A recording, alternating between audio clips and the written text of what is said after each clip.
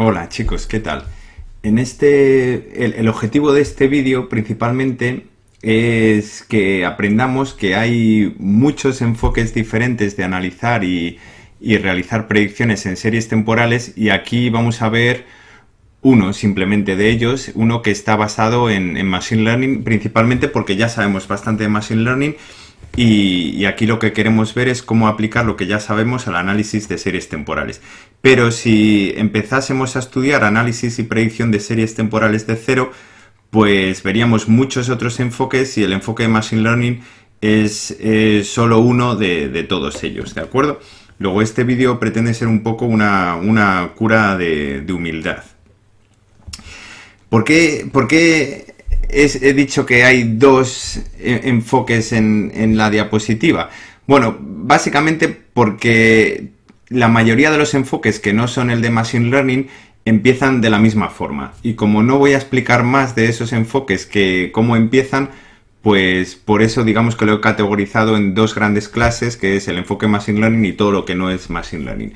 Entonces todo lo que no es Machine Learning eh, empieza básicamente eh, con una descomposición de la serie temporal en tres componentes, en lo que se llama la tendencia, en el componente estacional y, y en lo que queda, en el, en el residuo, en el, en el componente residual, que básicamente se, se calcula por, por, diferencia. Entonces, ¿qué es la tendencia? La tendencia es eh, el movimiento a largo plazo de la serie temporal. ¿Y qué es la estacionalidad? La estacionalidad es un componente que se repite en el tiempo, que es cíclico y normalmente eh, con un periodo a, corto plazo. Y el residuo es, es, lo que queda después de haber eliminado de una serie temporal la tendencia y el componente estacional. Entonces aquí si veis esta serie temporal que tenemos aquí sería la serie original, la tendencia es, eh, es la evolución a largo plazo, eh, eliminando todos los factores estacionales y el ruido de la serie temporal, la estacionalidad son estos ciclos que se observan en esta serie temporal a corto plazo y el ruido es lo que queda cuando se elimina de la serie original la tendencia y la estacionalidad. Aquí vemos otro ejemplo, esta es una serie con la que vamos a trabajar bastante, que es una serie de número de pasajeros, eh, en, en, avión. Eh, es una serie mensual, cada, cada punto aquí representa un, un, mes. Y esta es la serie original que vemos aquí. Esta sería la tendencia, que es un, un movimiento, una evolución a largo plazo, habiendo eliminado ya estos ciclos temporales. Este sería la componente estacional, y lo que queda de la serie original, una vez que le hemos quitado la tendencia y el componente estacional, sería el residuo. ¿De acuerdo? Y este es otro ejemplo para que veáis eh, simplemente que la tendencia puede tener eh, un, una evolución pues bastante compleja, no tiene por qué ser lineal, ni mucho menos. Esta es la serie original esta sería la tendencia, este es el componente estacional, que es un componente cíclico a corto plazo, y este es el residuo de lo que quedaría después.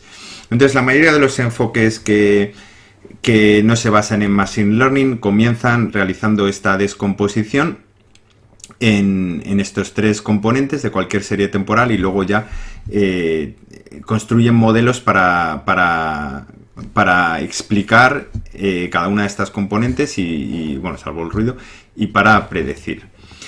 El, el, enfoque de Machine Learning pues ya lo conocemos y básicamente en qué consiste? Pues primero en tratar de identificar variables que pensamos que serán útiles para predecir la evolución de, de nuestra serie temporal. Entonces, ¿qué variables eh, pueden ser útiles? Y esto lo vamos a ver en el siguiente vídeo, pero ¿qué variables pueden ser útiles? Pues por ejemplo el tiempo. El tiempo, la, variable que estamos representando aquí en el eje horizontal, puede ser muy útil eh, para, para, para, ver cuál es la evolución de la serie temporal. También potencias del tiempo, porque el tiempo simplemente pues, nos daría tendencias lineales. Pero el tiempo al cuadrado, el tiempo al cubo, polinomios en el tiempo, nos permitirían captar tendencias, si queréis, eh, más, más, más complejas. Un tipo de variable que va a ser tremendamente útil, y lo veremos con detalle en el próximo vídeo, son las la, la propia variable x en el pasado. Esto se llama la variable con retraso o, la variable lagueada a veces, porque en inglés el retraso se dice lag y en español a veces simplemente se dice variable lagueada. Entonces, si nosotros queremos predecir lo que va a pasar mañana, digamos, por ejemplo, con el, el número de casos confirmados de coronavirus, pues es tremendamente útil saber lo que ha pasado hoy. Y en cualquier momento, si queremos predecir lo que va a pasar en un determinado momento, es tremendamente útil saber lo que ha pasado el día anterior.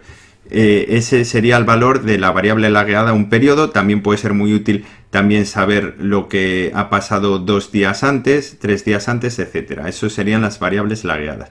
Y luego cualquier otra variable que, pudiera ser útil para predecir la serie temporal en cuestión. Y una vez que hemos identificado estas variables, construiremos diferentes modelos, como, como ya hemos aprendido, y eh, los evaluaremos y seleccionaremos el mejor. Y el enfoque es el que hemos aprendido hasta ahora.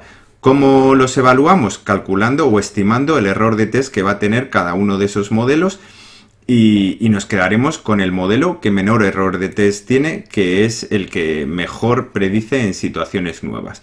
¿De acuerdo? En, eso el, enfoque es idéntico a lo que venimos viendo hasta ahora.